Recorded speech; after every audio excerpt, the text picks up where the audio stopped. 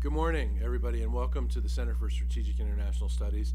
Thanks for coming to our briefing on um, the budget. And, you know, we've got some serious number crunchers here and some serious policy people here. I think Andrew Hunter will be joining us uh, shortly, but we wanted to get started. Um, and with that, um, many of you may have seen that, you know, Ryan Crotty's been promoted to Deputy Director of CSIS, according to the New York Times. And so we would go to him first, but I, will go to our Senior Vice President, Kath Hicks, really first. And you all know Kath, um, so I don't, I don't need to, her, she needs no introduction. But Kath, of course, came here after serving as Principal Deputy Undersecretary for Policy um, um, from 2009 to 2013. And so we're really glad that Kath came back to CSIS because, you know, we just need you. Bill, thanks very much.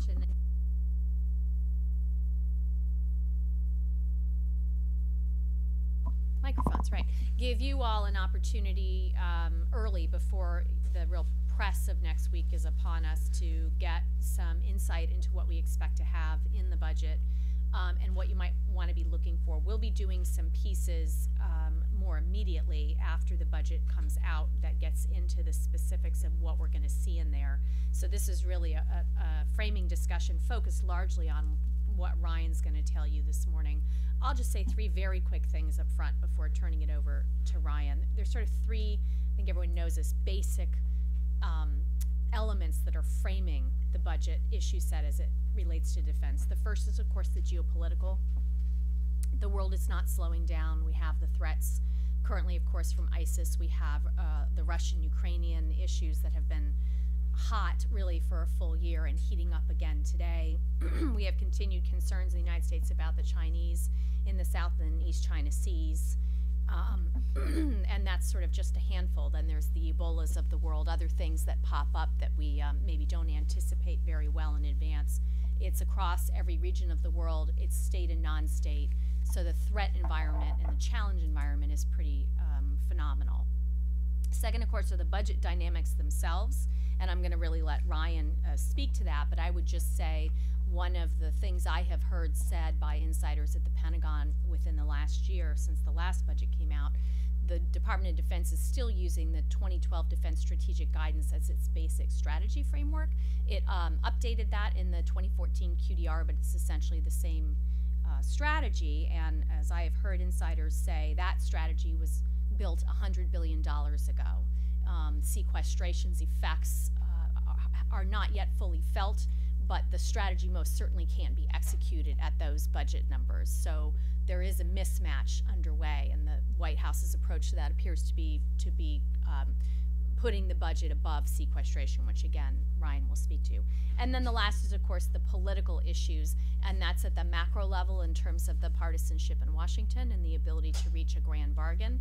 But it's also at a more micro level in terms of the ability to squeeze more out of the defense budget. And here we get into issues like base realignment and closure, compensation, of course, compensation commission will be coming out with its recommendations today, health care issues relating to the force.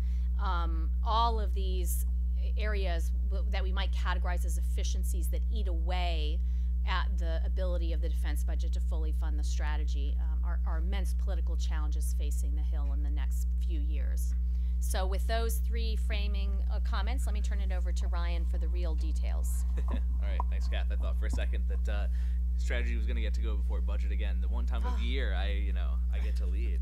Um, well, uh, so I'm just going to try to keep this definitely under 10 minutes to sort of go the get to your questions, but I wanted to sort of put everything in context here. So um, starting out with just kind of the overall federal budget, you know, I think of sort of the, the budget season kind of kicks off with uh, Monday's uh, release of the economic and budget outlook from CBO, and we saw exactly what we would have expected. But know, we're, we're looking at a, a world in which deficits are back to their historical average as a percent of GDP, um, back to uh, pre-recession levels.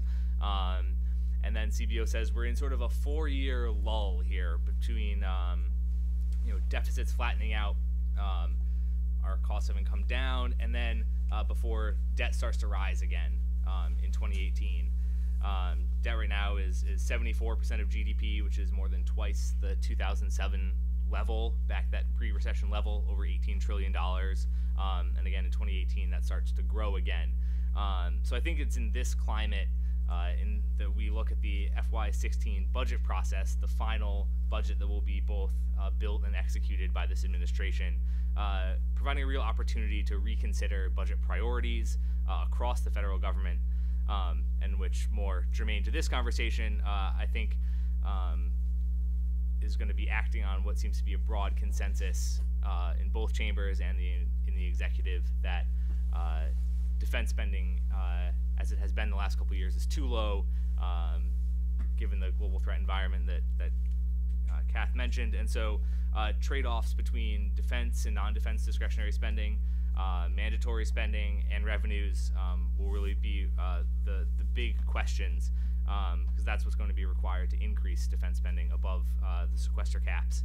Um, so to take that down to uh, now to the defense budget more specifically, um, so we all know sort of in the, the federal budget picture, uh, this the positive economic story there sort of has a pall cast over it from the budget caps uh, created in the Budget Control Act of 2011. Um, those took uh, $950 billion out of uh, the 10-year defense budget. Um, now, if you include 2015, we've actually, you know, which has already been appropriated, we've made it through 40% of those 10 years. We made it through four years already. Um, but because of the, the, the structure of the caps and the way that uh, relief has has been provided by Congress, we're really only 30% of the way through the total dollars that were supposed to come out from that from that trillion dollars uh, in spending cuts. Um, so in some ways, in under, under sequester, even though the top line starts to rise, the worst in terms of uh, what had to come out um, of, of the baseline 2012 budget uh, is still to come. Um, so the BCA level in 2016 is 499 billion dollars uh, thereabouts, um, and that represents a 28% cut down from the peak level uh, in 2008 in constant dollars. Um, that's including the 51 billion dollars that we expect to come in the OCO budget. Um, it's a 14% cut in the base budget um, from again from the peak, uh, and the 2016 BCA cap is about 110 billion dollars lower uh, than the baseline, which I was just referencing. So uh, that would be the biggest one-year cut um, so far. So if that's what sequester looks like, uh, we know that the president's budget is going to ignore that. Um, you know, it, as Kath mentioned, it's it's clear that you know he sees the prerogative um, that if he's going to support the strategy that that uh, the administration and DoD has uh, has uh, been relying on since early 2013, then 499 billion dollars doesn't cut it. He's been very clear, and I think actually the the chiefs yesterday on the Hill were very clear. Um, they went so far as to say things like, we can no longer do two of the 10 missions uh, at a, an acceptable level of risk. And um, I, there might have even been stronger statements than that. Um, but that is a, uh, I, I think actually uh, General Odierno might have even said that uh, that we can no, or excuse me, the, the Marine Commandant said he was no longer sure that they would be sized uh, to be able to do one major theater war, um, much less do a sort of a um, win hold uh, situation. So, you know, those are pretty stark uh, reminders of, of what the budget goes to um, in supporting the strategy. But um, in that, the president has given us a budget that's supposed to be $534 billion. So that's 34, 35, depending on how the decimals end up in the final budget. Um, billion above the cap. Um, the OCO budget will be 51 billion, which is 13 billion dollars less than last year, 20% less. Um, it's actually almost the same amount for uh, the counter ISIS campaign, um, 5.3 billion. I think it was just an even five last year. Uh, interestingly, they're bringing back the European Reassurance Initiative uh, at about the same level it was funded last year, um, which I found interesting because I know that there were uh, definitely some officials quoted last year that this was a one-time ask, um, and that is clearly not the case. I mean, it's obviously uh, an, an, important issue, and we can talk about that in terms of what um, what needs to be done with this budget. But um, you know that has clearly changed. Um, again, Counterterrorism Partnerships Fund um, will, uh, has an, uh, an ask again. They asked for four billion last year and got something like 1.3. Uh, they're asking for just over two this year. Um, so all things combined here, we're looking at a total budget of, uh, of about 585 billion dollars.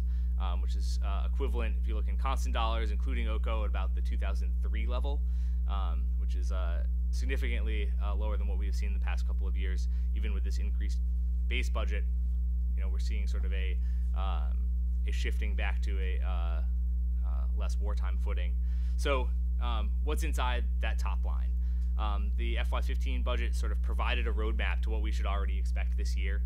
Um, you know, the the high and low priorities, those first in, first outs, I think we already kind of have a sense of uh, because the Opportunity Growth and Security Initiative last year um, provided that 26 billion dollars of of unfunded priorities, the first things that the president would have put back in had he not been restrained by uh, the Bipartisan Budget Act. Um, so those were things like Army Rotary Aviation, uh, Reapers, P-8s, C-130s, um, you know, restoring some of the readiness funding to uh, especially Army and Navy, and bringing back some of the MILCON that had been cut very deeply. Um, similarly, they provided you know those uh, those first outs, the the estimated impacts of sequester level funding. Um, we know that procurement took a, a, the most significant hit under the sequester scenario uh, for the FYDP. It was uh, procurement is something like 18% of the budget, but it um, would have had to take about half of the cut um, to get down to sequester over over the uh, over the FYDP. And so I think that roadmap is largely uh, what we should expect in FY16. Um, you can see many of those uh, exact programs popping up in the early sort of uh, leaks coming out. Um, but I think the last question that we have to ask is what are the priorities that need to be fit in for FY16 that we didn't have in 15? Because um, there's been a lot that have popped up over the last year. I mean, the European Reassurance Initiative is one, but things like uh, you know increases um, for modernizing the nuclear enterprise, um, R&D plus ups for the Long Range Research and Development Plan, the Defense Innovation Initiative, the Aerospace Innovation Initiative, just uh, um, brought up yesterday by Secretary Kendall.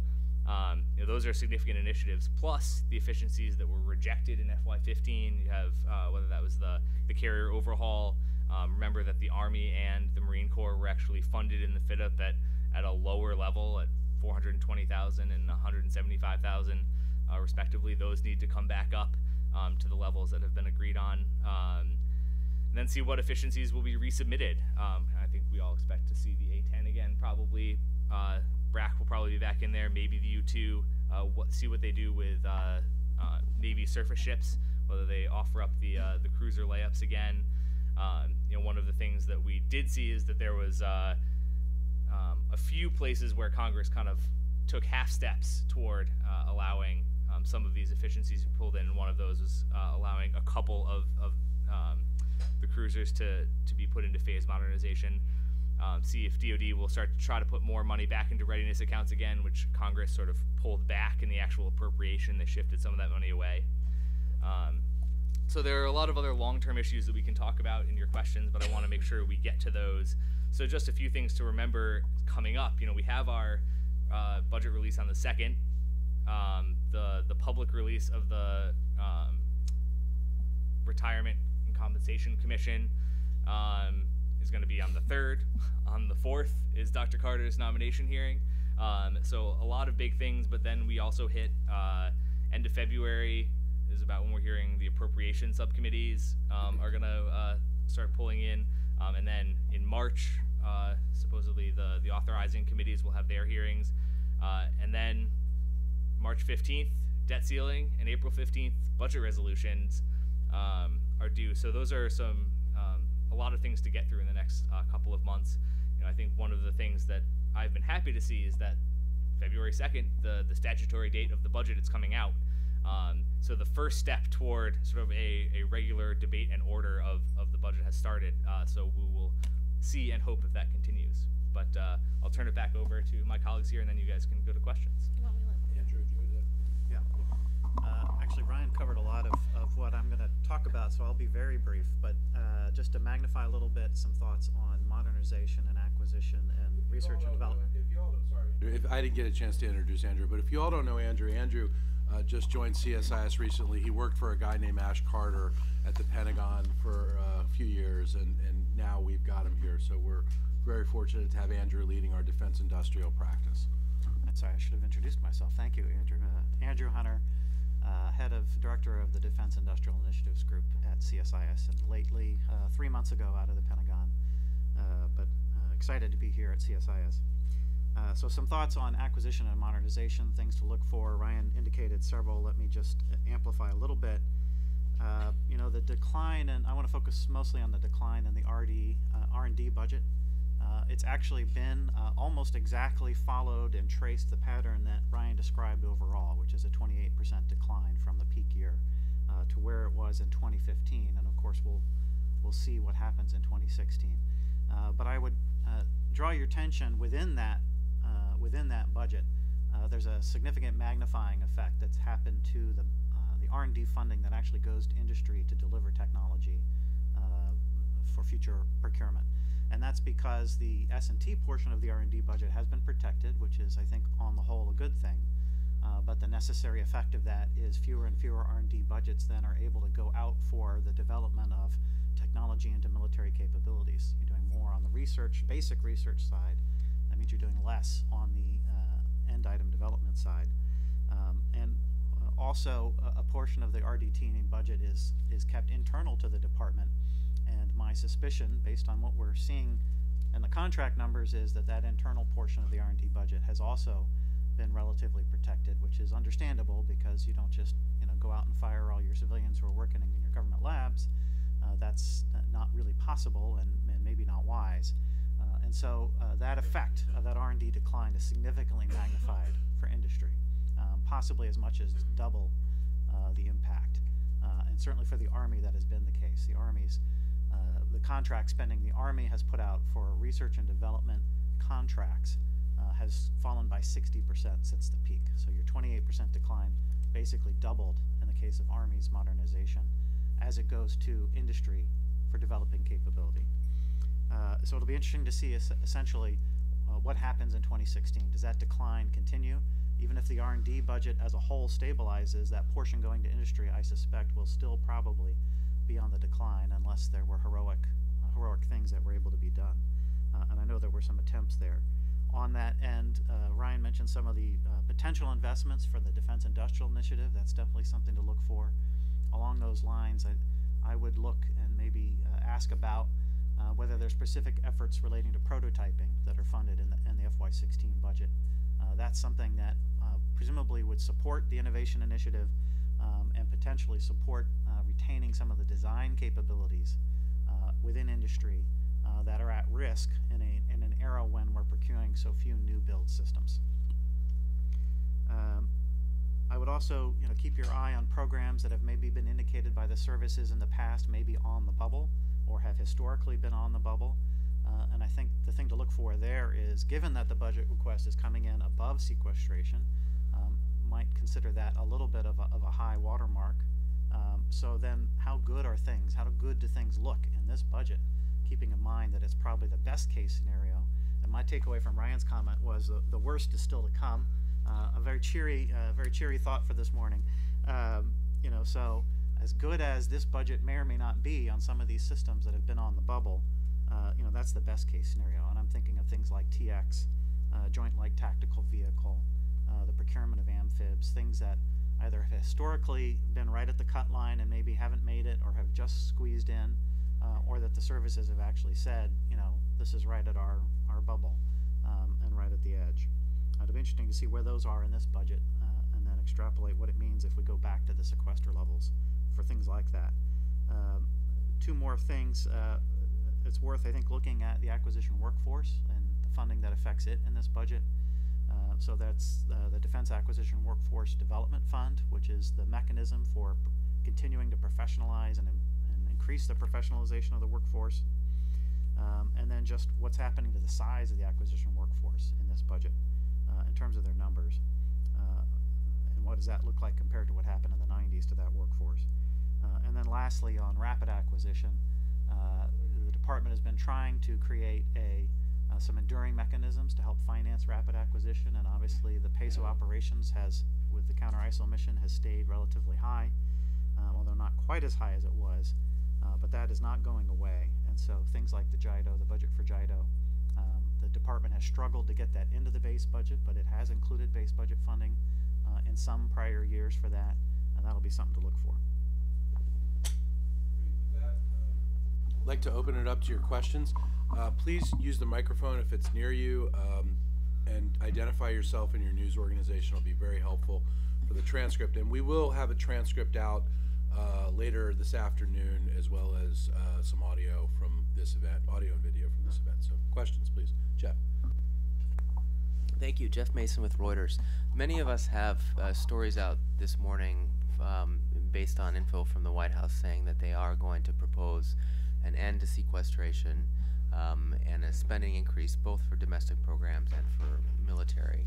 Uh, can you give some thoughts about A, the likelihood of that ever happening, uh, and B, how you see that sort of looking in the actual budget to the extent that you can on the domestic program side in addition to the uh, defense side?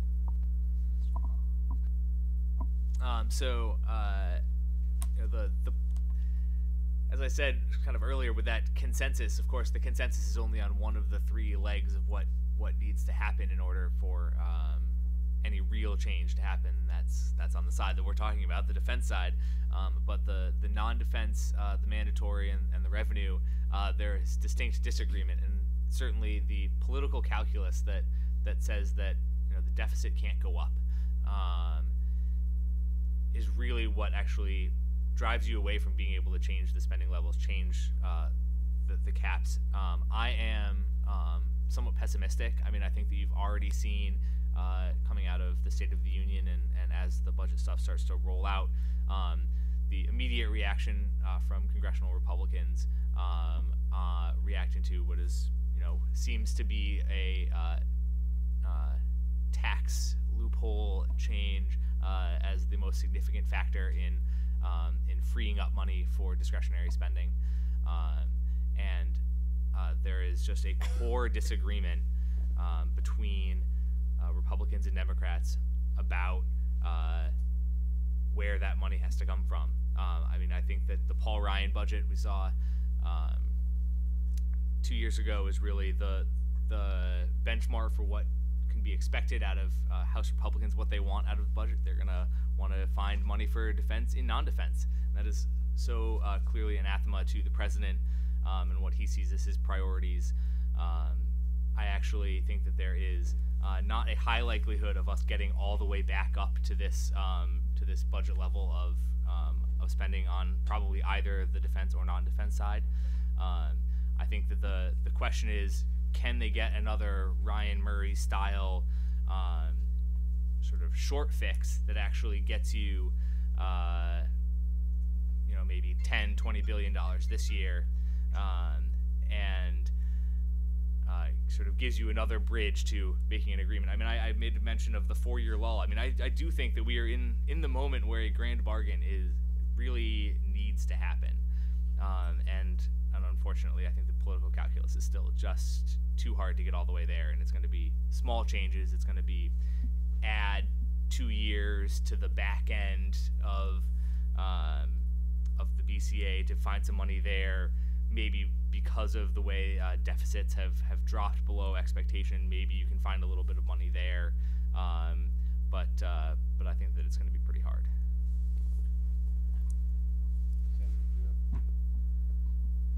Um, sort of along the same lines, um, Congress or the, the leaders of Congress from uh, both uh, the House and the Senate have said they were going to try to have a regular order budget this year.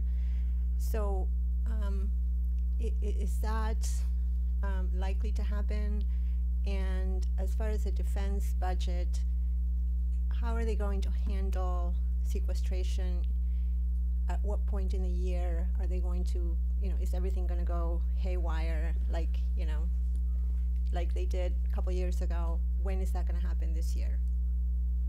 Uh, I'll start. Um, the, the uh, I mean, I think that the the biggest hurdle in regular order is going to be a concurrent budget resolution. I think it's going to be very hard, even with Republicans running both houses, um, to get something that that uh, House Republicans are going to put into uh, a budget resolution that um, Senate Republicans who are largely up for re-election in 2016 are are going to be uh, willing to get behind, and it will certainly be hard to find anything um, that gets the votes. I mean, Andrew can talk about the potential for reconciliation maybe as, as a mechanism um, for, for finding some areas.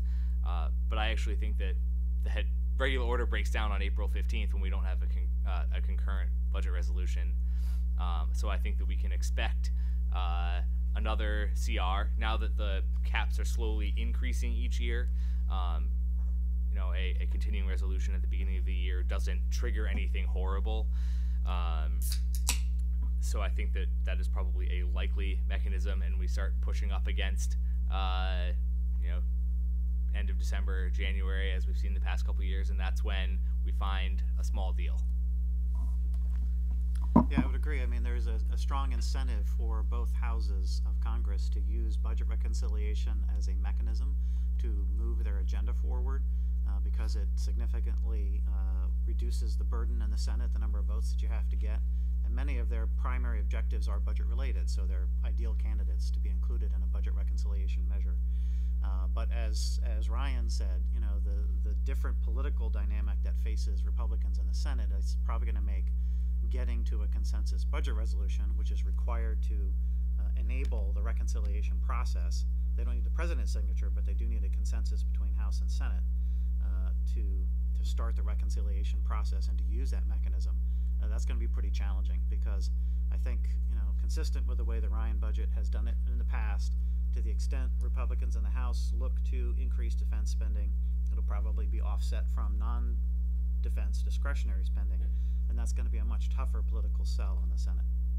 And they just don't, you know, then to, to get to the margins that they would need, that's going to take some some tough votes for, from people who are up for reelection. Questions? Hi, John Harper with Stars and Stripes.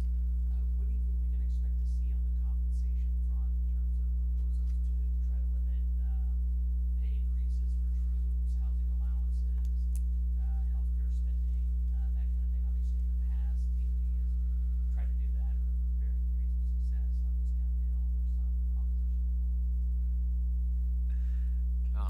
I'll, start. Um, the uh, I, I expect that um, I, I actually it's a good question because I I'm curious to see what will actually be in the um, the DoD request, knowing that uh, the the commission will have will be coming out essentially simultaneously with the budget.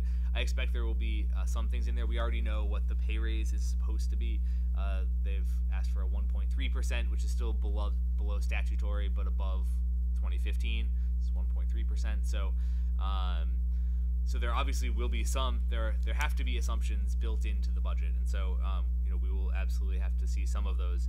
Um, I I expect there will not be any big proposals, knowing that the the fight is to come post budget. Um, you know, I know that with the commission, I think there are some expectations of a, a really significant um, uh, thoughts for changes in the retirement system. Um, I don't know if you guys have heard any more. Well, I, I, I've had not heard more details. I, I have one, uh, maybe uh, borderline speculation to offer, which is uh, of all the components of the compensation piece, uh, you know, the, the pay piece, uh, it's, it's a little bit arithmetical, you know, so you can say, oh, well, 1.3% versus 1.5 or whatever the statute would imply. It doesn't maybe raise hackles in the same way.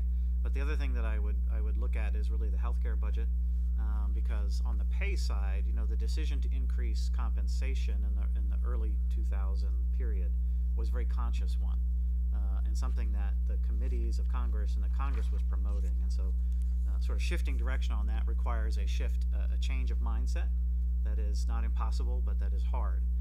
Um, and similarly, on retirement, uh, there was a lot of decisions made by the Congress to, to put in place the retirement system that exists today. On healthcare, I feel like uh, much of the increase on healthcare spending has just sort of happened. You know, there was no conscious initiative by the Congress to say we really want to increase the healthcare benefit for you know. It was something that sort of evolved over time, and uh, with the exception to some extent of you know TRICARE for life and, and healthcare for retirees, a lot of that healthcare expense growth has been uh, not something that was driven by any sort of policy decision. So I think it makes it a little easier to then go back and say, I don't have to change my mind to support scaling back uh, the, the size of the healthcare spending budget. So I'm, I'm uh, a little bit more hopeful that there's room for progress in that area.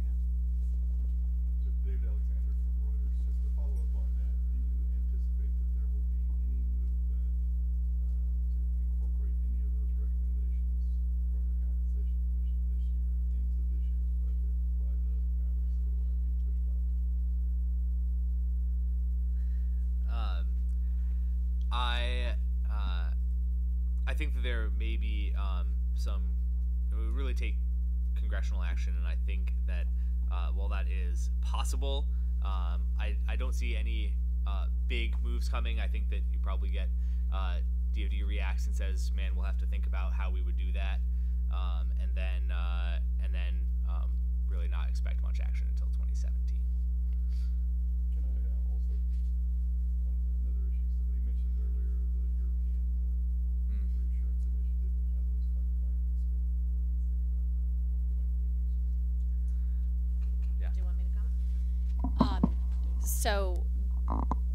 Already have a stepped up posture uh, for the United States as part of the overall NATO commitment, um, and that largely is represented in terms of exercises and troop deployments, naval presence and air presence in the Baltic states and Poland. So I think it would be a continuation of that. The specific exercises and deployments probably aren't fully set yet for 2016, but it would be set at a level of effort to sustain that degree of U.S. engagement. So, Baltic air policing support, for instance, again, troop deployments um, that uh, demonstrate our resolve for NATO. But I don't think that they'll have specific exercises set up um, at the time that they release the budget.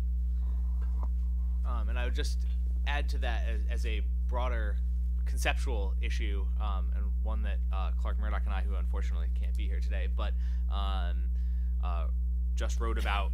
Um, you know, it is we are reaching the point as we have um, moved out of Afghanistan. I mean, we, we know about you know the the ISIS campaign is the big headline, but it's really still a very small percentage of, of OCO. It's only uh, ten percent. Um, that we are uh, now getting into continuing to add new things that we consider contingency operations. And I think that uh, one of the things, obviously, the caps have been sort of what has forced a lot of things into that. And it is really important to start thinking about what is it that we, that is our sort of peacetime baseline global presence, because really you, uh, you know, OCO is sort of becoming a reflection of just how the U.S. operates in the world, um, probably for a long time going forward. So you know whether it's um, you know Operation Enduring Freedom things that are happening, uh, you know I think the specific authorizations for for use of OCO is you know 20 countries, but also any other country you want to. Um, but explicitly, I think it's something like tw- 20 that fall into it. Um, and and it's really kind of everywhere now. And so starting to rethink about what needs to be something that is a uh, annual planned uh, part of the budget, um, and what is really emergency and contingency. You know, I think that that, that very very gray line um, probably, uh, especially if we get some kind of agreement, should probably be something that we revisit um, as as budgets start to start to creep back up. Um, because right now we're looking at a, a world in which the OCO budget is, you know, forty billion dollars forever. I don't think that's how you want to budget for things.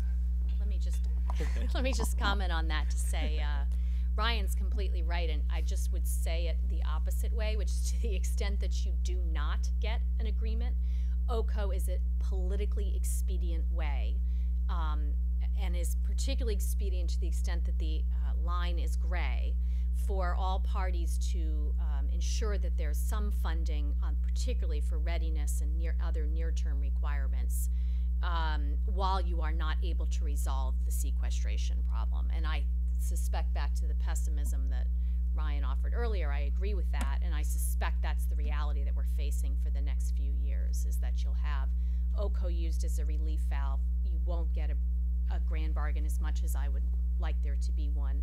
And um, if to the extent that the environment stays uh, rough and tumble, I think that's the world we're in. If it gets much worse, it might help push a grand bargain. If it gets much better, you might see OCO come down. Yes. Hi, Jen DiMascio from Aviation Week. Um, I wanted to follow up on the, um, the European initiative. Are there any, um, equipment, uh, is there any equipment that might be funded as part of that this year? I'm not aware of any in there, and that's, it, it is not related, just to be clear, to any Ukrainian aid. That would be a Right. separate, uh, issue, but I don't, I'm unaware of any NATO equipment support that's in that funding. Um, and then also I wanted to follow up on the aerospace um, in- innovation initiative. What do you see kind of coming out of that? And when you were talking about the R and D budget and the S and T budget being off balance, do you see um, that focus on innovation shifting that S and T to R and D balance at all, or just shifting it for those uh, programs um, like a, a future fighter um, specifically, and then draining accounts for for other R and D efforts?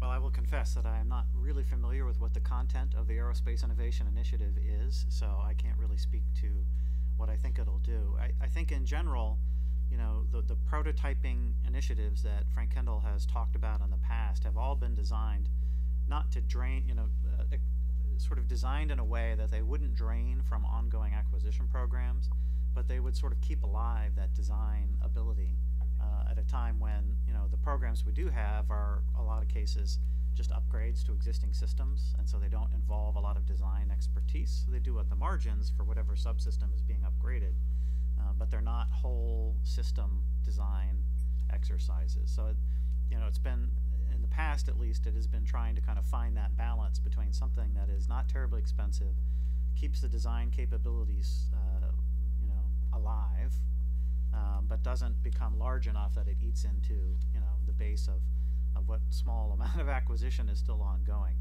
Uh, and I would you know I would expect to see that going forward. Now over time, as you get out three, four, five years into the future, um, obviously if this innovation initiative, uh, defense or aerospace version, going to be successful, you want to start to see some of those ideas that are small um, turn into programs um, or get incorporated into programs of record. So um, to the extent that some of these innovations may be more at the subsystem level or at the you know sensor level um, or you know kind of communication systems level, you want to see those things migrate into an F-35 program or migrate into uh, the LRSB program uh, and be adopted. Uh, and, and that's kind of the goal. So I, I see it happening more that way than you know big new programs coming in and crowding out uh, what's on the table today. Hi, uh, John Harper again. Um, it looks like Ash Carter is going to be up on the Hill defending a budget that he had no part in drafting. Um, is that just a statutory thing where the SecDef has to go up there? And, I mean, to what extent is he gonna be able to speak to this? It's not a statutory requirement, but the Congress invites the secretary. Uh, the secretary can choose to decline the invitation, but that would be unprecedented, at least in my knowledge. Um, what uh, my understanding is, what the agreement has been with the Congress is that they have pushed off the posture hearings so that he has time to be, first of all, that he can be confirmed without having to defend it um, which is why the confirmation hearing is right after the budget is released, and he has no knowledge of that budget, which makes his confirmation hearing much easier. And then he has time to sort of become familiar with it. Um, you know, I, I'll turn this over to Andrew, who's had experience. I was going to say more experience on the Hill, but I'll just say experience on the Hill since I've had none.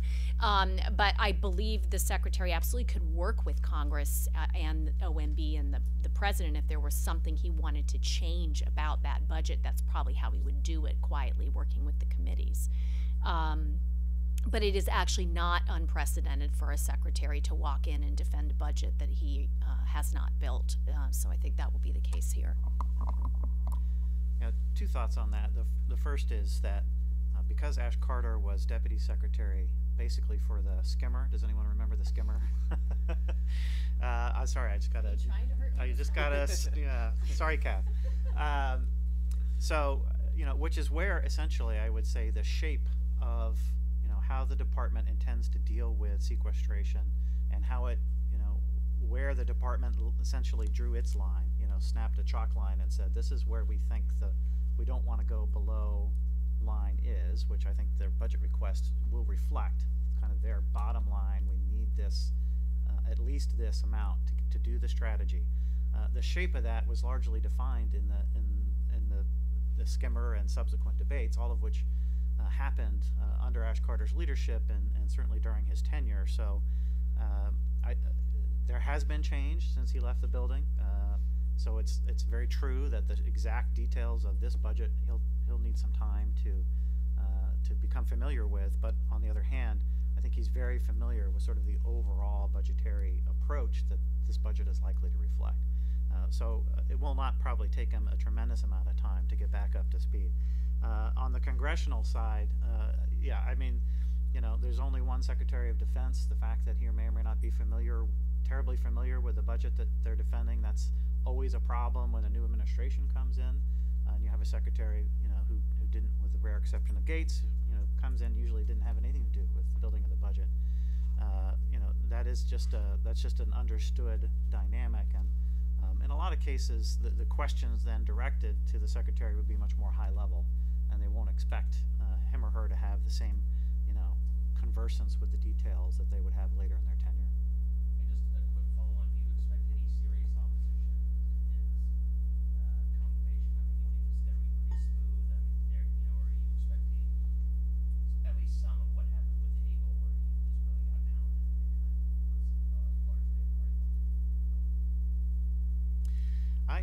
haven't seen any evidence of anything personal to Carter, um, or maybe personal is not the right word, of anything that is particularly associated with him, his views, or his positions, uh, or his prior service. So that's a pretty clean slate from my perspective.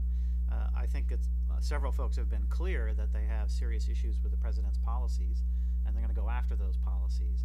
Um, and obviously, the dynamic will be uh, to see how adroitly uh, Dr. Carter is able to defend those positions uh, in a way that doesn't, know, sort of antagonize um, uh, the members of the Armed Services Committee and other members of the Senate. I personally believe that that he will be very successful in that.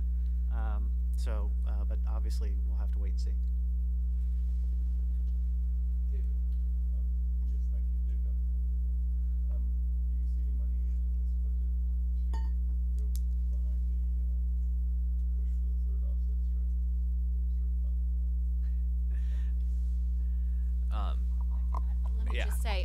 Inevitably, yes, they'll have to do at least a, in their PowerPoint presentation, when they roll out, they'll have to do at least a slide that says crosswalks, what's, and that's really what it will be, what's in the budget and how it relates to the offset strategy.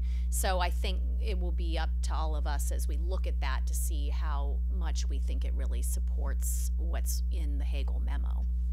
Yeah, and I think right. I think as sort of Andrew also described, you know, part of this is a lot of this is probably going to focus into R and D things or be not necessarily uh, budget focused items. You know, I think that a lot of the um, Better Buying Power 3.0 stuff that sort of feeds into the innovation initiative is part of it. Um, so I think there are some things that will be bullet points that are not necessarily budget bullet points. Um, but I would note that if, if you go back and look at the you know whatever we, I guess we're calling the second offset strategy, the the Bill Perry under Harold Brown.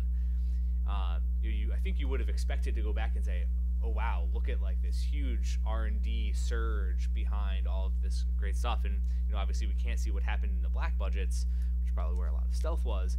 Um, but when you go back and look, that is not really the case. Um, you know, it is. I think it's about a reformulating inside of the budget and having a, a strategy to what you're doing with the dollars that you already have, not necessarily adding.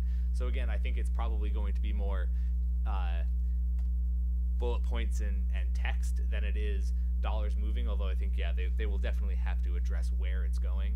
Um, but I don't I don't see huge budget impacts from it. Yeah, but I, just touch on that. I, there is a little bit of a timing mismatch here. I would point out that the RFI that went to industry for their input on, you know, where should the Defense Innovation Initiative be focused, uh, that's still open. You know, so at a time when we're still the department, a little slip up there. I'm not there anymore. When the department is still uh, asking for feedback from industry about, you know, what is uh, what is the hot stuff that's coming down the pike in 10 to 15 years that we need to be ensure that we're going to be able to leverage and stay on top of.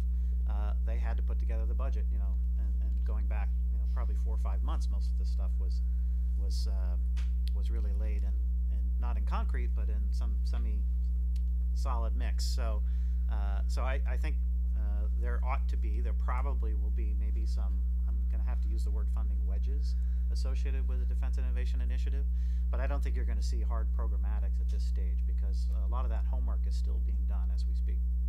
Just wanted to add, I mentioned at the beginning that we have um, some analysis coming out. We're aiming for the day after the budget, for the, for the third. And um, Andrew's going to have a piece on offset and innovation once we get a chance to look at that budget.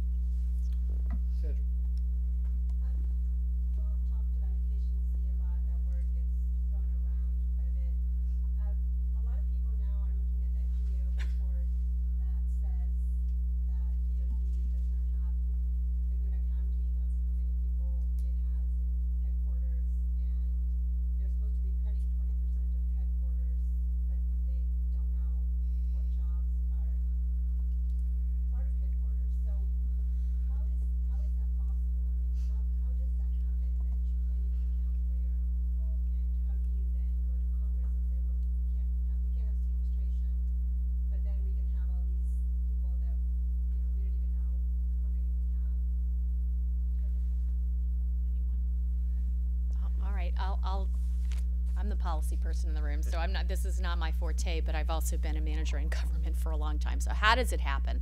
It comes down to how you count people is a big piece of it, whether it's you're counting full-time equivalents or bodies, and that's different. There's also, particularly since 9/11, there's just been a huge growth in non-traditional billeting. So um, you have temporary billets, you have a lot of contractors, of course, which I think everyone's familiar with those issues.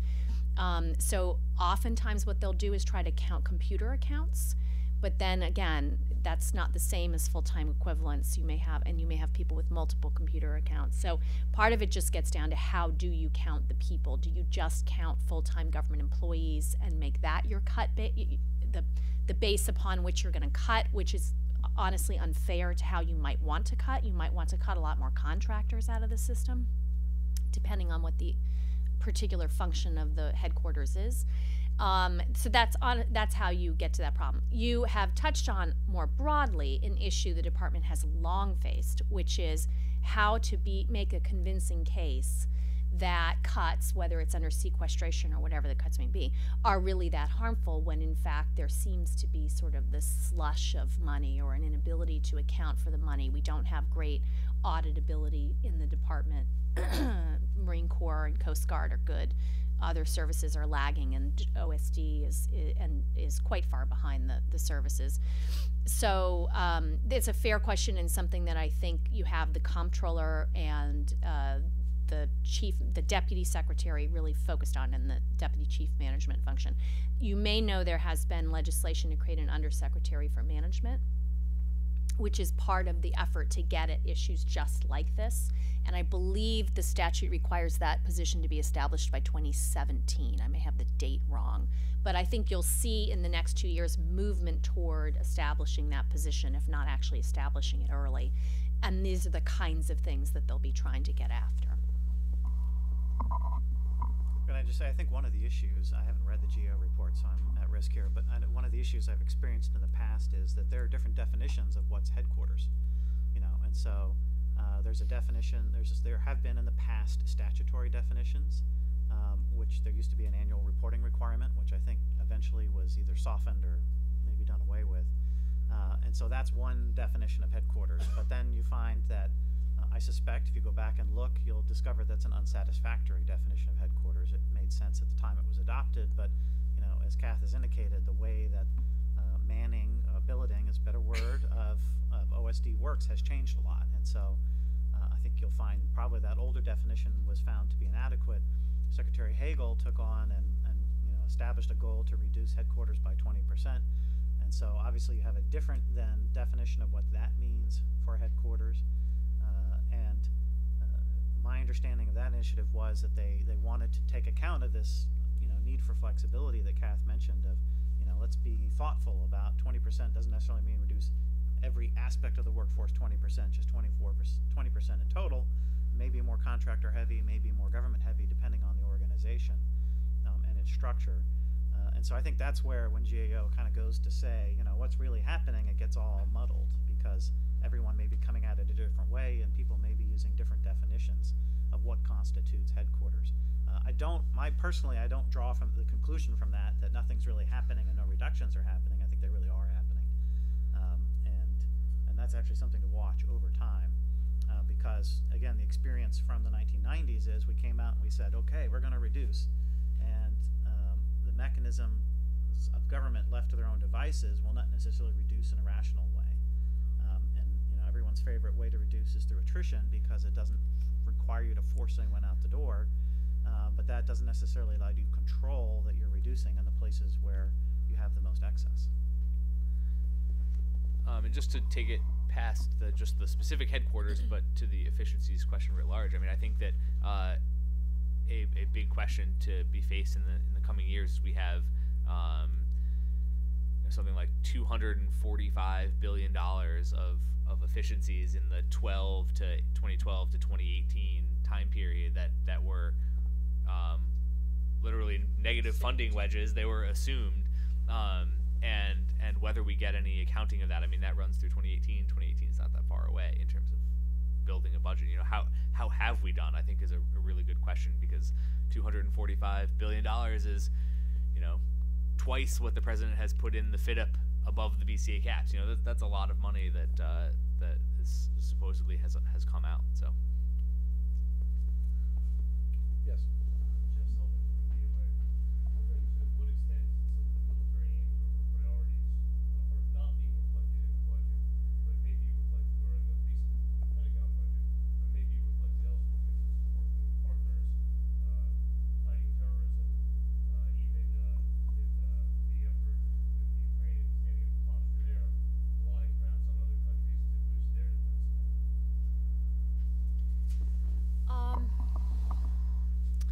I, my honest answer is those are all, everything you have laid out, um, are part of how we speak. You know, the what the president has said certainly in terms of his emphasis on partners picking up, you know, burden for the counter ISIS, certainly the Iraqi government itself in the case of Iraq, the Europeans and others. Um, all of that is true. That said, it is not the case, I think, that it would greatly affect in any way the defense budget that we put forward. We tend to be very cautious in the United States about assuming what's going to be brought to bear by allies and partners. Um, so I think there's some amount of coordination, of course, that's going on um, in terms of developing the budget for the U.S. And there is certainly some amount of funding um, in terms of the counterterrorism initiatives um, in particular, and then as we mentioned before, the the wrap for Europe, and then potentially a package for Ukraine. Um, those are examples of where it built into the budget that the president will release will be some of those initiatives, some, some of which that money will be in DoD, some of which will be in, for instance, the State Department. Um, humanitarian aid to Syria would be another big example of that, where he's had a big push. Um, but by and large, it's on the it's small amounts, relatively speaking, on the margin, and um, the bulk of the Defense Department budget is settled without regard to what other partners are bringing to bear. With the I should say more directly, with the assumption that the U.S. might have to act unilaterally, in some cases. Great, with that, um, I'd like to thank everybody for coming to CSIS this morning. Uh, you can follow us at CSIS on, uh, on Twitter. Uh, we're also on Facebook and at uh, csis.org. We'll be sending out a transcript to all of you uh, later this afternoon. And uh, thanks for coming. During next week, when the budget's actually released, please feel free to call us. We'll be sending out, as Kath indicated, uh, uh, uh, a manuscript of papers um, on this issue. Um, Ryan, do you want to give a sense of what we're going to be, um, what we're going to get out, and what we already have? Yeah, sure. So we we've got uh, one piece out um, yesterday afternoon on uh, on sort of the the strategy budget alignment question and how we think about that going into a budget cycle. Um, and then we're going to have a series of pieces coming out on Tuesday. Um, once once we see what comes out that addresses sort of the different you know our sort of our maritime forces, ground forces, those sort of specifics, uh, R and D, some uh, some things on on that we'll wait to see what we actually uh, get out of there. Um, some things on sort of the the post OCO and, yeah, and, and soft actually world. we'll have a specific piece on uh, partnerships and COCOM priorities, uh, uh, partner programs. um, as well as uh, some some regional um, and uh, and regional deterrence issues. So uh, sort of try to hit the the large swath of issues coming out of budget season here. Terrific.